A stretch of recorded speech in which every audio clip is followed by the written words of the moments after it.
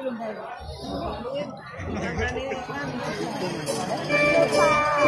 you.